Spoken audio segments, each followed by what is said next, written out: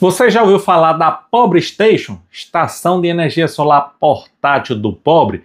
Nosso amigo Tiago Costa, lá de Joinville, Santa Catarina, disse que fabricou uma Pobre Station. Vamos conferir e vamos verificar se essa é uma Pobre Station mesmo. Eu acredito que muita gente vai discordar. Vamos conhecer o que, é que tem dentro daquela caixinha para saber se ela é a Pobre Station.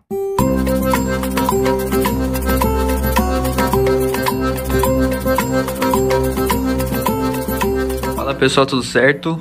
Fazendo esse vídeo aqui para mostrar a nossa pobre station, que a gente apelidou, a gente usa ela para acampar, na verdade ela foi feita para acampar, para ficar no banco do carro. E a proposta dela é ser uma coisa prática, plug and play.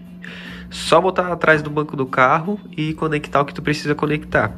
Aqui a gente tem é, quatro células da Kimbo de 163 amperes. Esse sistema aqui eu estou fazendo ele todo em 12 volts. E o objetivo aqui é ter tudo na mão. Inversor 220, carregador prático, é, não precisar carregar nada, só simplesmente pegar ela, botar no carro e sair para viajar. Aqui a gente fez uma, um sisteminha para ficar prático ali no, no próprio carro de uma forma que eu tenho tudo aqui na mão.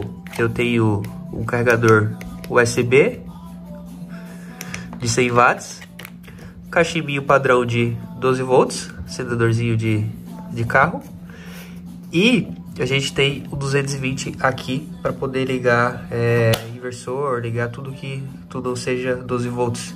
Para cada porta dessa daqui tem seu respectivo interruptor, tá? Tudo aqui independente.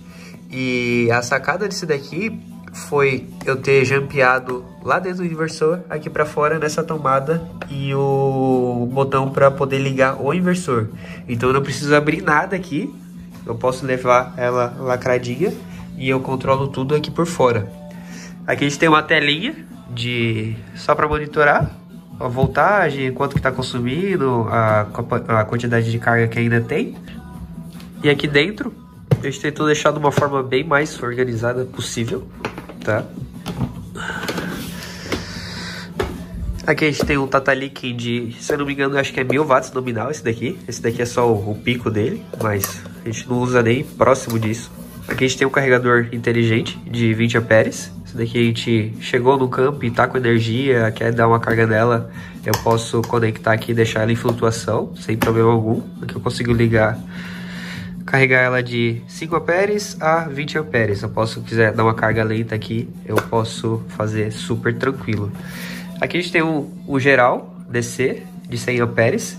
Por mais que essa bateria seja de 163, é, eu quis dimensionar ela para 100 amperes porque a gente não pretende usar nem próximo disso, na verdade. O máximo que a gente usa é quando liga uma, uma sanduicheira aqui e chega a 60 amperes.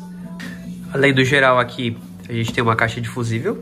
Cada dispositivo aqui tem o seu fusível respectivo e dimensionado certinho pro consumo desses daqui, tá? E para esse daqui que ele é mais forte, ele consome mais, eu tenho um fusível de faca aqui, só para ele, no cabo mais grosso, tá? Vamos lá, o que mais tem aqui? Aqui esse reloginho aqui, ele mede a temperatura daqui de dentro, na verdade daqui, onde está a saída de ar quente do carregador e do inversor. O, ambos dispositivos aqui, eles jogam ar daqui para cá. Então, o cooler deles fica bem aqui na lateral, então tem uma ventilação boa aqui. E aqui tem um sensor que... Esse daqui ele monitora sempre essa saída aqui. A partir do momento que ele chega em 40 graus, ele liga automaticamente esse relézinho, onde eu coloquei um, ventiladorzinho aqui, que ele faz o mesmo fluxo. Como ele é daqui para cá, ele vai puxar o ar daqui e vai correr todo para cá para sair aqui. Aqui tem uma grelha, e eu vou colocar mais uma grelha aqui e vou aumentar um pouco mais esses furos que tem aqui. Nas células aqui eu tenho uma BMS da Dali de 100 amperes. Igual eu falei, esse, daqui, esse sistema aqui está dimensionado para 100 amperes. E aqui embaixo fica um banco de baterias. Aqui eu fiz uma tampa para ficar mais prático. Aqui eu tenho quatro células da Kingmo de 163 e elas estão pressionadas. Eu fiz uma caixa de MDF para poder deixar elas bem pressionadas aqui, tanto aqui na lateral quanto aqui, lá embaixo, e ficar mais seguro também, não correr risco dela estufar, né? Aqui tá o fusível faca aqui desse inversor. E aqui tá toda a ligação. A, BM, a BMS tá ali.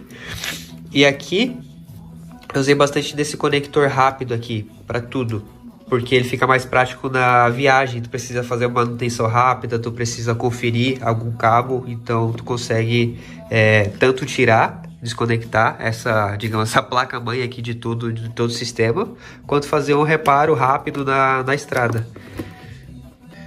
Aqui para tudo eu decidi pecar no dimensionamento dos cabos para ter mais segurança, aqui não correr risco de aquecer. Porém, todos os dispositivos estão dimensionados no fusível, tá? Aqui eu tô com excesso dos cabos, mas no fusível ele tá dimensionado exatamente para o que precisa, tá?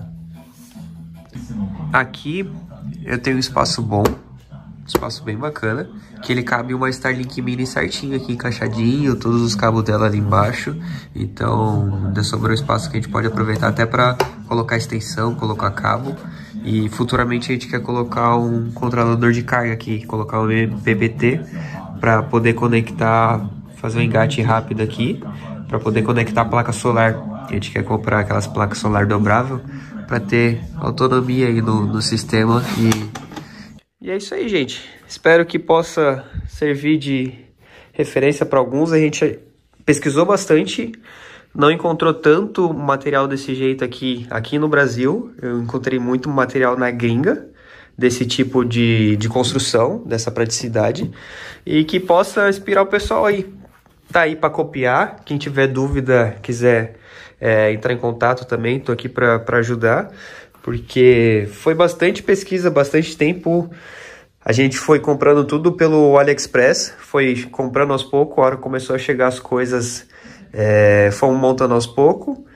E aí chegou, chegou, chegou, meu povo! Gostou do vídeo? Taca o like, taca, taca, taca o like. Não se esquece, se inscreve no canal, ativa o sininho aí.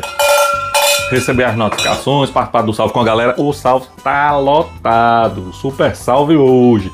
Mas só um aviso: nos últimos dias aí do, da grande promoção do AliExpress, tem bateria da King de 12 volts aí com mil reais de desconto, saindo por 2,100 Live PO4, classe A, JKBMF, Bluetooth, tem, dessa, tem dado de 24 volts 100 amperes para a gente montar um sistema top com híbrido, híbrido Anenge de 220 volts, 1400 e pouco.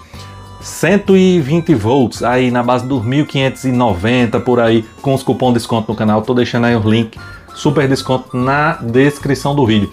Tem células da Kimbo desse banco aqui de 206 amperes hora com o preço mais baixo que você já viu. Acho que na base de duas células por 1.400. Isso quer dizer que você pode montar um banco de 12.8 volts, 206 amperes, com as células aí de 8.000 ciclos, de 6.000 ciclos, de alto desempenho aí, de 2C de descarga, por menos de R$ 2.800. Ou seja, tem promoção aí que vale a pena você dar uma conferida. Vou deixar essa e as células maiores, de 280, de 8 mil ciclos, mais de 22 anos aí, para vocês conferirem também. Mas vamos lá, vamos ver quem foi os caba bom que garantiu o seu salvo. Mas antes, e aí, vocês concordam que essa estação é uma pobre station? Vocês viram aí a qualidade da montagem do amigo Tiago Costa é de bater parabéns, é de aplaudir de pé, igreja. Tá demais, olha, células de 160 amperes Live PO4 tudo trabalhando com folga, tudo bonitinho, inversor, bem dimensionado, os conectores perfeitos. Que super estação! Isso não é uma pobre station de jeito nenhum. Você vai gastar aí menos, talvez para fazer uma, uma construção daquela, mas dizer que é uma pobre station de jeito nenhum. É uma top station. Quem concorda aí comigo, bota aí nos comentários para o nosso amigo Tiago Costa ver. Vamos lá nosso amigo Juliano de Tabirito, Minas Gerais. Chega, chega, chega. Nosso amigo Pedro Barbosa de Porto Velho, Rondônia. Nosso amigo Mário Niajá, da região de Sana, Macaé, no Rio de Janeiro. Sérgio Ferreira, Tribabó, São Gonçalo, Rio de Janeiro, aí, aí, aí. Nosso amigo Silvio Gonçalves de Maceió, Alagoas. Eita, lugar bonito gota. Vou pra aí já já, viu? Nosso amigo Leonardo de Guarabira, lá na Paraíba, também bonito, com sua gota. Nosso amigo Samuel Santos de Penha, Santa Catarina. E nosso amigo aí, Tiago Costa de Joinville, Santa Catarina, que enviou o vídeo da Top Station. Ele disse que é Pobre Station, mas eu digo que é uma Top Station. Quer participar do sorteio aí das estações de energia solar portáteis da WT? Se torne membro do canal, é um picolé por mês, R$ 7,99, uma vezinha no mês. Recebe aí conteúdos gratuitos, não vendendo cursinho, nem e-book de 900 conto, nem consultoria de 20 minutos por 300 reais em WhatsApp. Mas nós, além de trazer informação gratuita, ainda fazemos o sorteio aqui das estações e dos materiais. Tem um monte de estação top, eu já avisei. E vamos lá. Valeu! Espero que goste.